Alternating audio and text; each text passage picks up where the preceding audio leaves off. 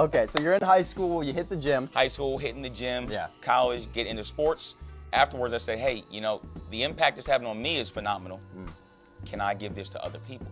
Then that led me into becoming a personal trainer. Okay. Okay.